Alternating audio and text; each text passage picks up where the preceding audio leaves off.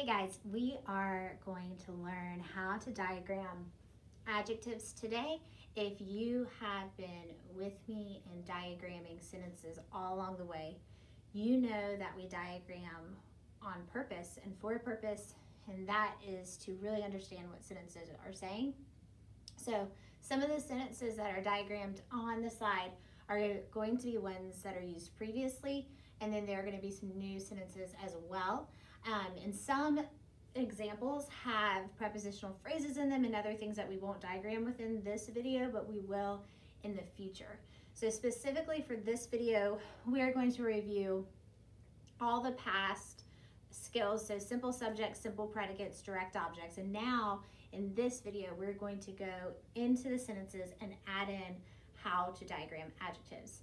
At this point, you probably already know that an adjective is a word that describes. Specifically, adjectives must describe nouns.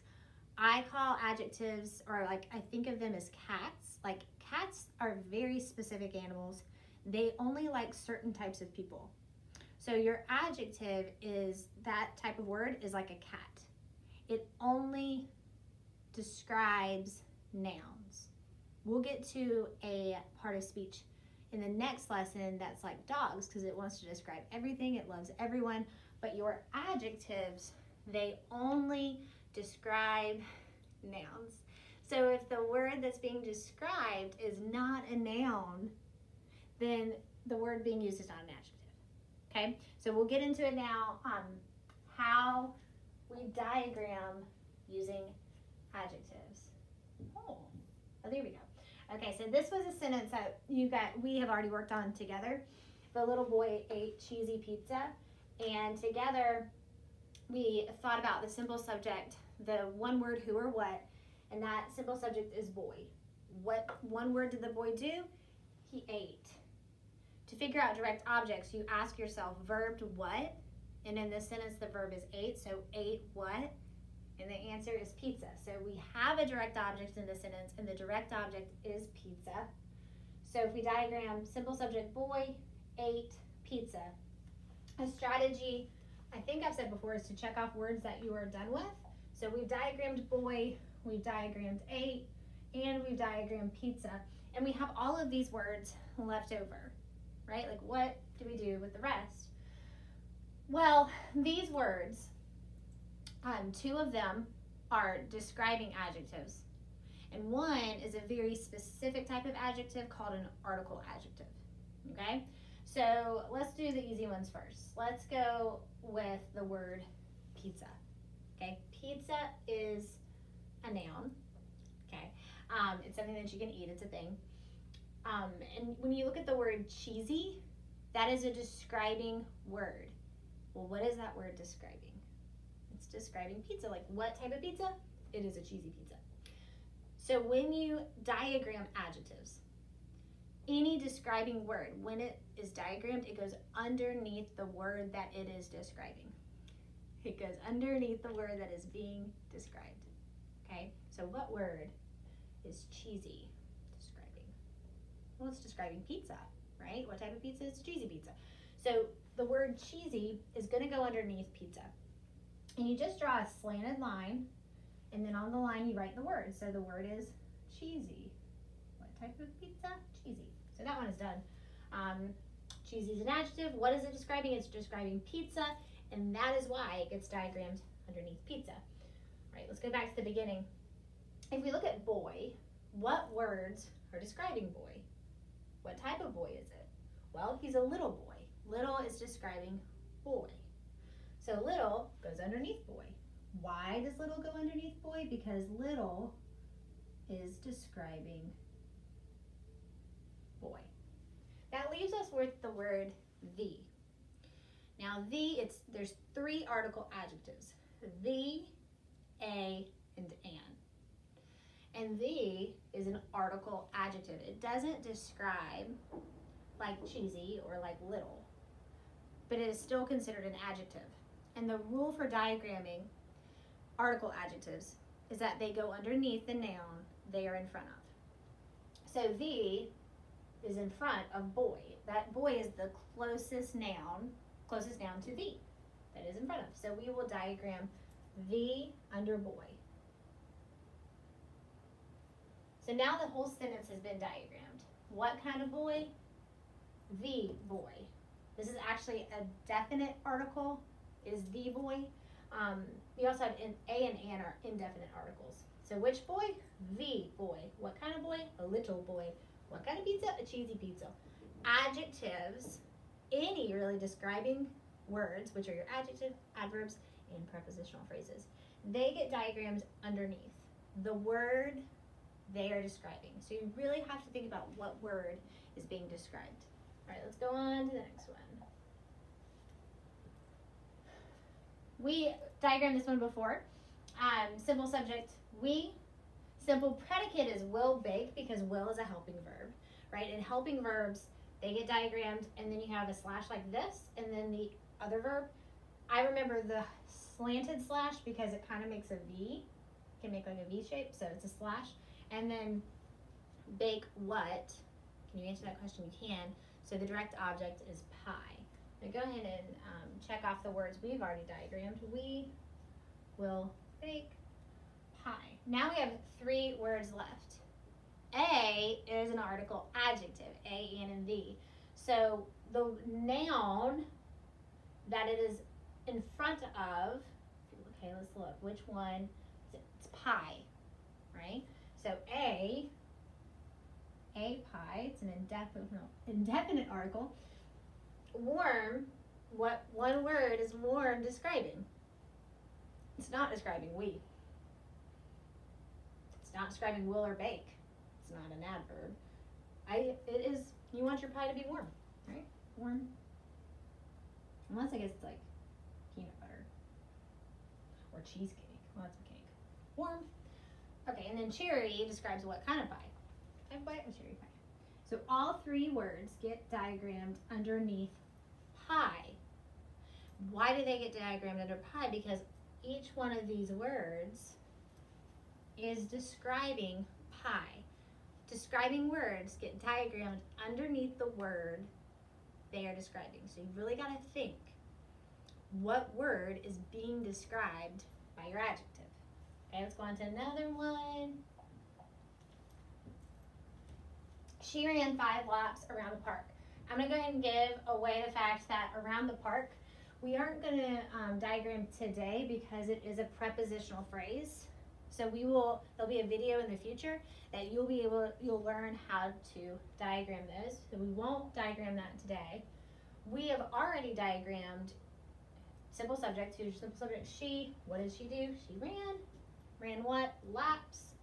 So she ran laps. You have one word left. Think to yourself. Where what word, the word that is left, what word is it describing? It's describing how many laps. It's not describing she. It's not describing how she ran. It's describing how many laps. So how many laps she ran? Five. It's an adjective describing how many laps were run. Five laps. Okay. Next one. We love stylish Miss Shogren. She is stylish. Simple subject from previous videos. We. Simple predicate. What are we doing? We love. Love what? Shogren. Mrs. Shogren. Oh. Why? Do you remember why we diagrammed both Mrs. and Shogren? Say it if you know it. I feel like I'm like one of those instructional videos. I guess I am. It's because it's a proper noun. When you have a proper noun, you keep that proper noun together. It's one name. It's the name of a noun. Name of a noun is proper noun. So we keep this together, and we only have stylish left. Hmm, what word is stylish describing? Well, we are, I'm sure, we are stylish, right? But that's not the word being described. It's not like stylish we, right? It's obviously the. So, stylish goes under the word being described. We'll write in stylish. And check that off. And the next one, he needed some rest. We've got a lot of words already diagrammed from a previous video. Simple subject is he. Needed is a past tense verb, and what did he need? He needed rest.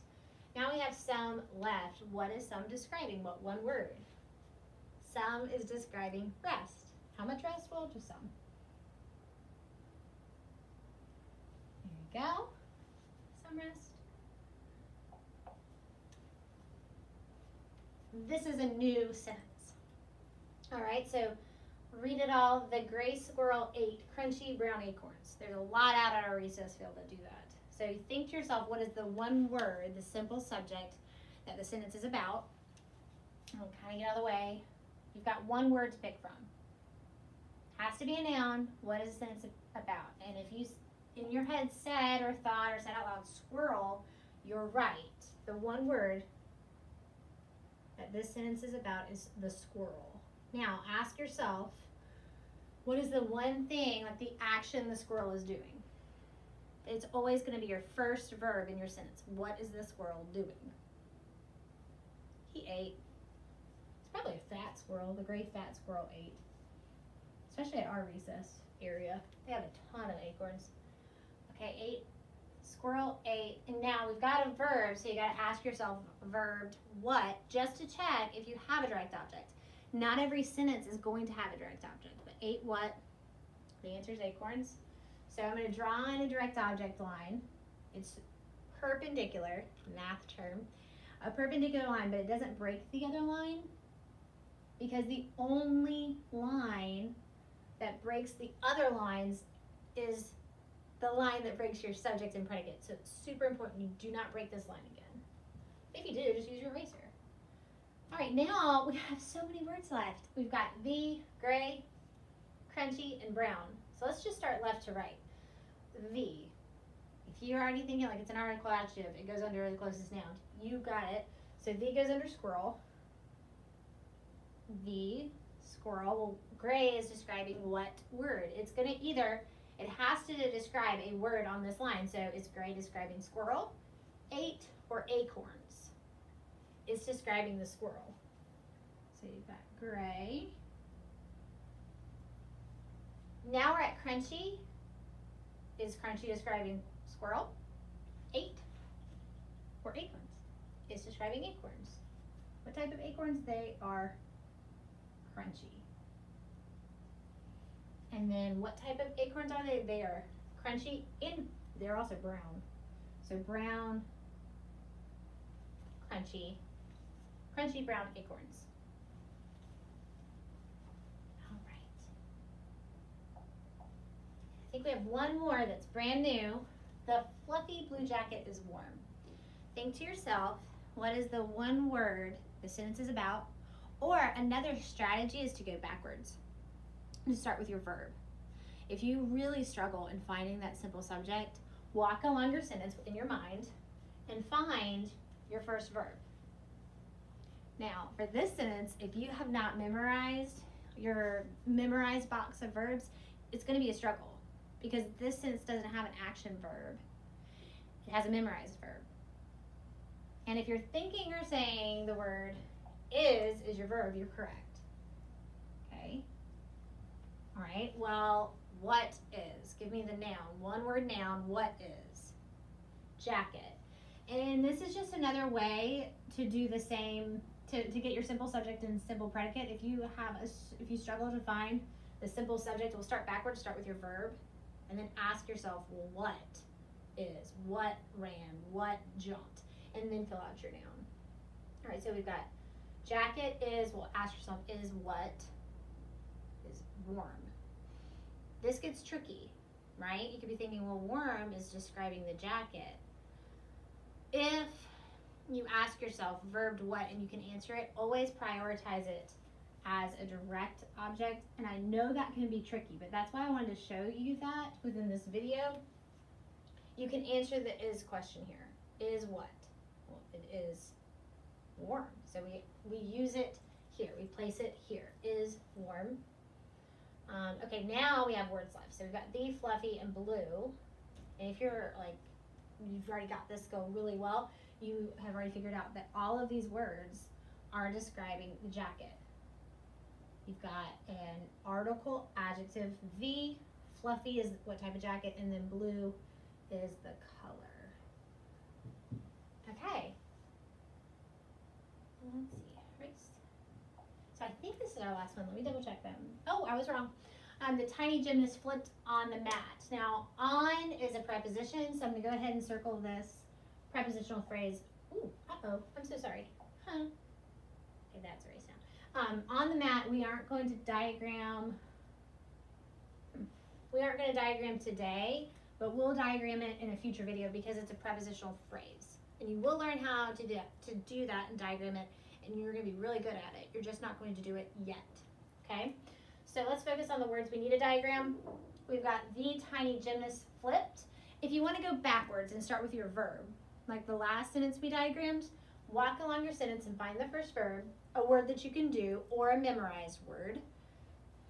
That word is flipped. You can, well, you might not be able to flip. I cannot flip. I can flop, but some people can flip. Gymnasts can flip. Flipped is a verb. There's a whole gym for it. Flip gym. All right, now ask yourself, what flipped, right? What one word flipped? Gymnast, gymnast flipped. Gymnast. All right. And we have words left, the and tiny. The is an article adjective, and tiny described your gymnast. And now the entire sentence is diagrammed. We'll check off. It's a good strategy. It it may not seem like you need to check off your words yet, but as we get into more in-depth, challenging sentences, it's going to be a very helpful strategy to use. At least it is for me. I think this is now the end. Let me double check. Yep. So hopefully this would has helped you diagram adjectives. Adjectives only describe nouns. And so they have to be diagrammed underneath the word they are describing. I hope you have a great day.